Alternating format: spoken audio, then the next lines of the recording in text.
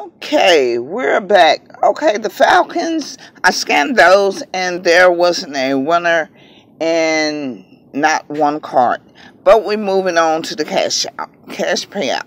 All right, here we go.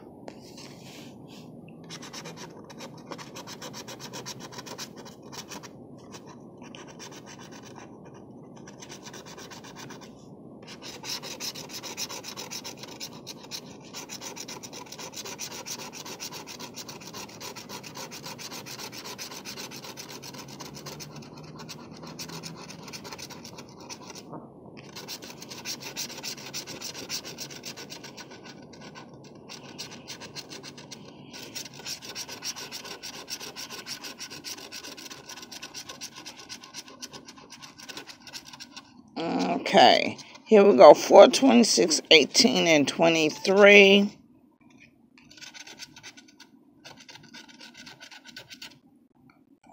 Um, there is nothing on that card.